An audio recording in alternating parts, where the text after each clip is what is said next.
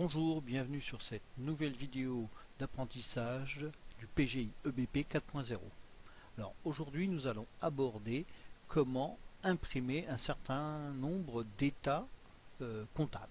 Alors pour cela nous allons aller dans quotidien, impression et état comptable. Nous voyons que nous pouvons imprimer soit un journal, le grand livre, la balance, bon après des, euh, documents un petit peu plus euh, pointus. Alors commençons par l'impression de la balance. Je clique sur balance. Il me propose l'exercice comptable dans lequel je travaille. La période, je pourrais simplement, si je le voulais, imprimer la balance euh, du mois de janvier. Tous les comptes. Donc à partir de là, là ce n'est pas très compliqué, je vais cliquer sur aperçu. Le logiciel me propose la balance de mon entreprise avec les comptes de capitaux, les comptes d'IMO, etc. Je ferme. Maintenant, voyons comment imprimer un journal. Donc toujours dans quotidien, impression, état comptable, journal.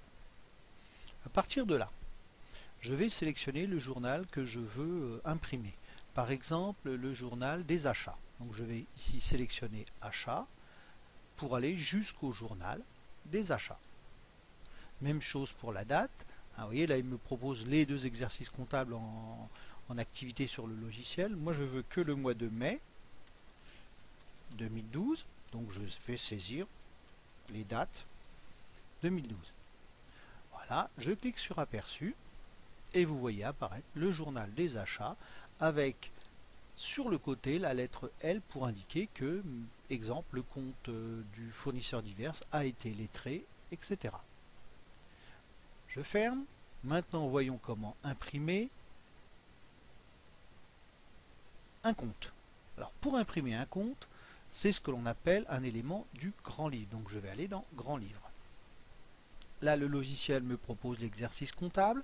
Alors, je veux le compte, mettons 401 diverses, uniquement du mois de mai. Donc là aussi, je vais resélectionner ma date du mois de mai 2012. Voilà. Ici, je vais sélectionner en fournisseur uniquement mon fournisseur divers. Il est là. Je pourrais en, imprimer un certain nombre, hein, vous voyez, hein, diverses, je pourrais aussi, mettons, hein, par exemple, aller euh, de diverses jusqu'à euh. Mais là, je vais, ne veux que diverses. Même chose ici, je ne pourrais, je pourrais n'imprimer que les, mettons, les lignes lettrées ou non lettrées. là, je vais prendre toutes les lignes. À partir de là, il me reste à cliquer sur aperçu. Le logiciel me propose un compte. Alors c'est l'impression de base. Si je veux une impression un peu plus détaillée, je vais prendre grand livre provisoire avec détail. Et vous allez voir apparaître sur la partie droite ici le lettrage, ce qui permet de vérifier le travail que j'ai réalisé. Voilà, je ferme. Voilà, j'en ai terminé avec cette euh, leçon sur les impressions de documents comptables. Je vous donne rendez-vous pour une prochaine leçon. Au revoir.